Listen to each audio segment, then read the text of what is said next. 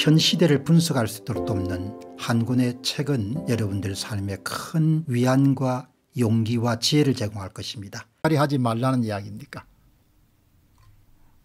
이런 거 다 이러면 허당이고 가장 겁내는 것은 선거 수사겠죠 뭐. 선거 수사를 가장 겁내지 않겠습니까? 말은 안 하지만 한동훈 장관도 서울 가리지 않습니까? 괜히 사람들 긁을 필요가 없으니까. 아까 여러분 선거 데이터 보셨지 않습니까? 그게 말이 됩니까? 그게 그게 말이 안 되는 일이지 않습니까?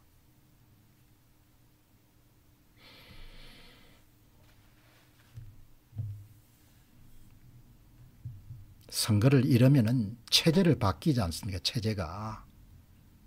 어쩌면 대한민국 사람들이 그렇게 무심합니까? 선거를 잃어버리게 되면 선거가 무너지면 체제가 바뀌지 않습니까? 국민이 원하는 사람이 아니고 저거가 원하는 사람을 뽑는 거지 않습니까? 지금 2020년 4.15 총선의 결과가 뭡니까? 저거가 원하는 사람을 뽑아 놓은 거 아닙니까?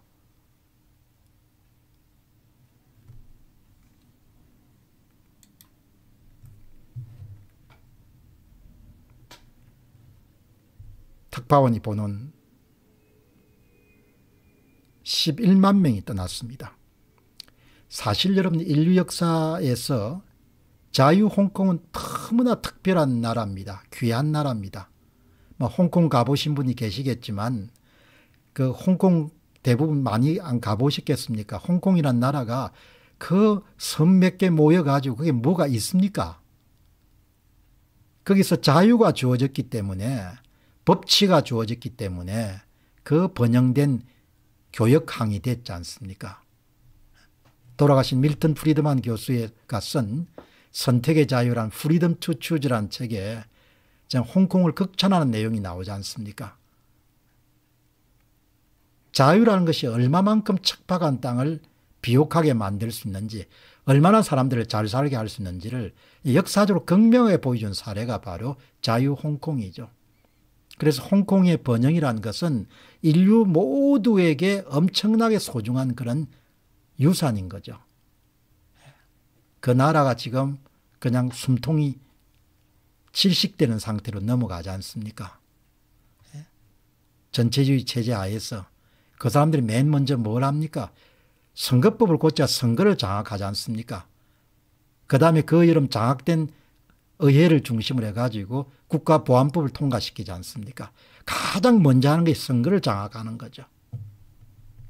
내가 이렇게 외쳐도 뭐 이거가 국민들한테 메아리가 없고 그것이 받아들이지 않으면 할 수 없는 겁니다. 어떻게 하겠습니까?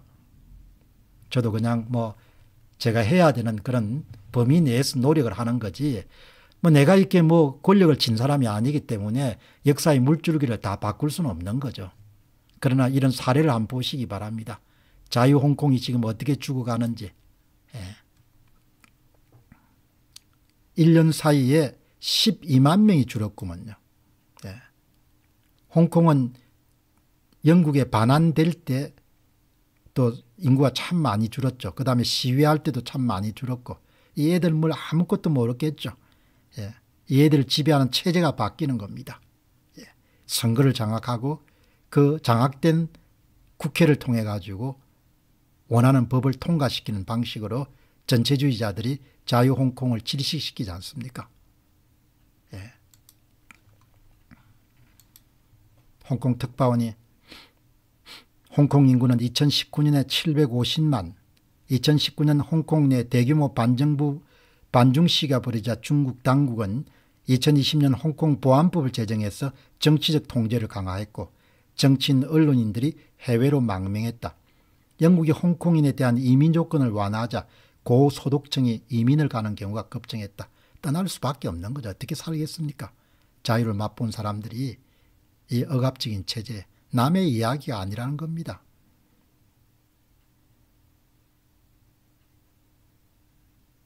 명보는 이민을 떠난 사람은 젊은 고학령자가 많고 앞으로 더 많은 인재가 유출될 가능성이 있다. 문정권 말기에 그 암울한 상황을 한번 여러분들 생각해 보시기 바랍니다.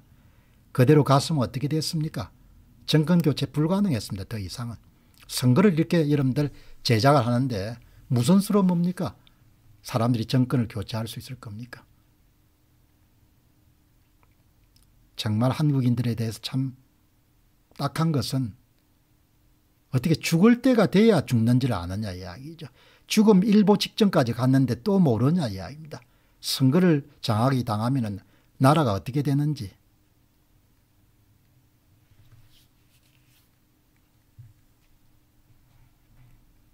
이걸 보고 못 배우냐 이야기입니다. 선거를 장악당하면 그냥 그걸로 끝나는 겁니다. 예? 300만 표 이상 정도 표차가 나는데 그걸 25만 표 차로 줄인 거 아닙니까? 키가 찬 거죠.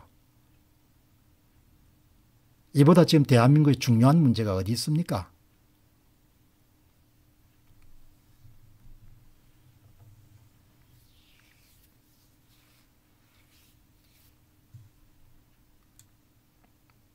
다 떠날 수밖에 없습니다.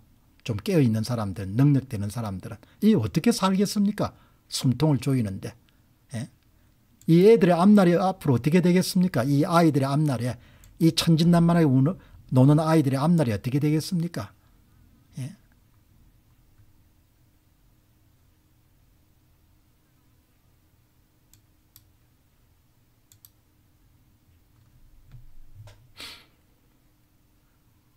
최근 3년간 중국에서 고용하던 외국 직원 가운데 25.4%가 회사를 떠났다.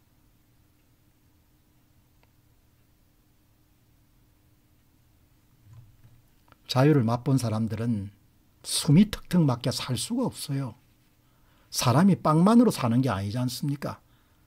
코로나를 빌미로 이런 문정권 말기에 얼마나 여러분들 가혹했습니까?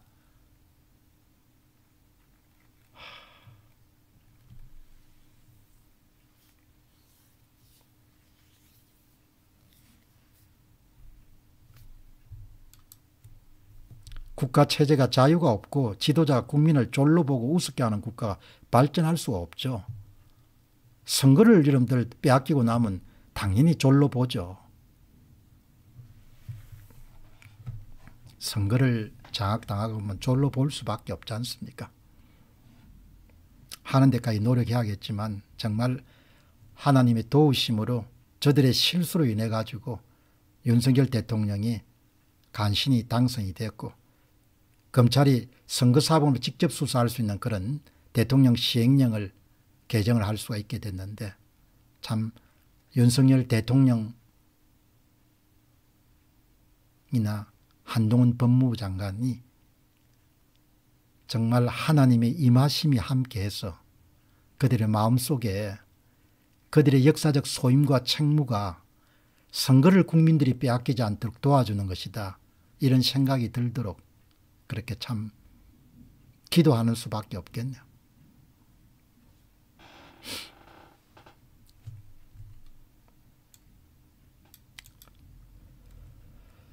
자, 여러분 오늘 음, 뭐 여러 가지 이제 말씀을 좀 드렸는데 예, 참 그래도 참 나라가 그렇게 똑똑한 사람이 참 등 중, 중이 등으로 바뀌는 바람에 또 한 번의 기회를 갖게 됐는데 그런 기회를 선용해서 국민들이 선거를 빼앗기지 않도록 하는데 윤석열 정부가 좀 더 박차를 가했으면 좋지 않겠느냐 생각이 들고 너무나 절박한 거죠. 전체 모습을 다 볼 수 있는 사람들은 얼마나 그것이 참 무협한지 예. 얼마나 그것이 중요한 일인지를 예. 자 여러분 오늘 어, 토요일 아침 방송 마무리하고 또 내일 여러분 찾아뵙도록 그렇게 하겠습니다.